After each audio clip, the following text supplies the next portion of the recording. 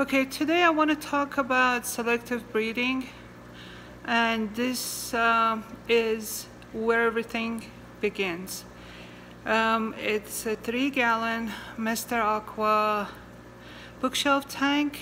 It is, um, it has very minimal amount of decorations, uh, but inch and a half of substrate, couple of rocks, mm, these are petrified wood actually, a small amount of plant, and um, piece of driftwood.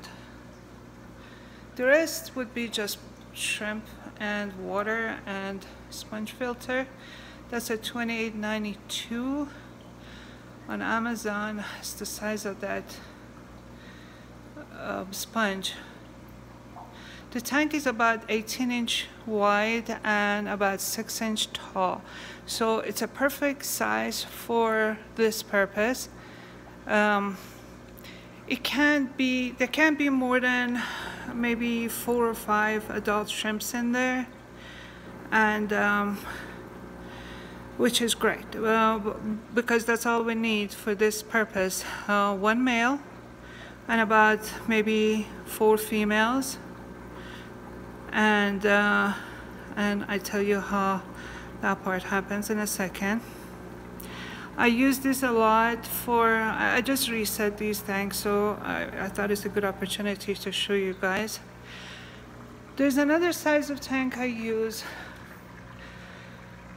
This is the, again, from Mr. Aqua, and it is uh, a little smaller. It says one and a half gallon, but it is it isn't. It's actually two gallon up to that point uh, that I filled.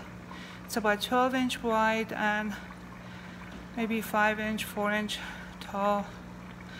And uh, the same theory except these are good only for about maybe two to three shrimps adult shrimps no more.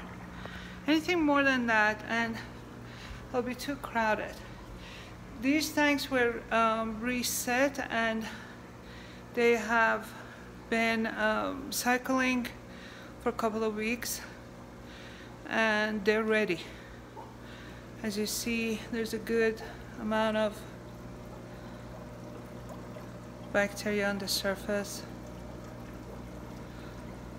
and any food I put in there it gets uh, fuzzy so that means they're ready to go. Uh, this is another size of tank. You could use these two. These are seven gallon cube. And you can put more shrimps in here.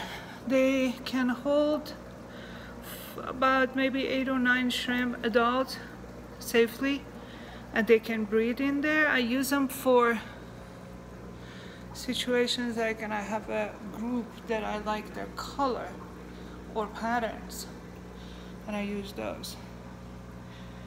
Now these are cycling tanks. They're 9.1 gallon and they're about 23.8 inch wide. And um, they're the perfect, perfect colony community tank. They're tall enough but still low profile. They have, um, the shape is perfection because it gives opportunity for shrimps to hide from one another if they need to. Be on each side of the tank. I will put a couple more plants in there, but um, I don't overwhelm my tanks with plants. That's as far as it goes. So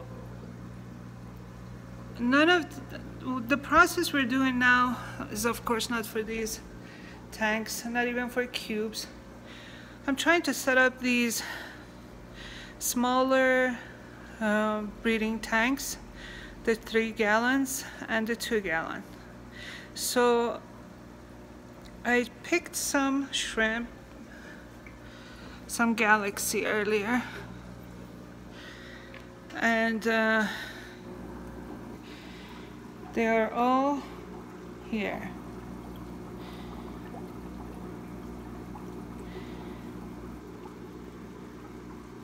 As you can see they're very nice they're adult ready to breed. Some of them bred before but they were in the community tank waiting. They may have bred there too but when I need them to read a certain pattern, that's the process. Um, I know the genetics of each one, so there are no surprises here.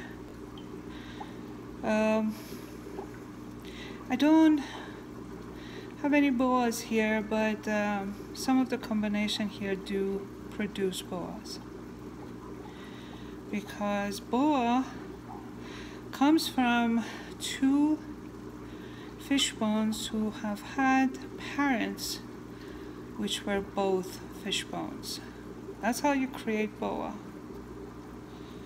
And I know the genetics of this, so some of them will. But um, the goal is to create a more high grade galaxy. I will set them up and do a part two. They will go to these tanks. In each tank, one male and about four females. And on the little ones, I will put one male and one female or two females. That's about it. Stay tuned.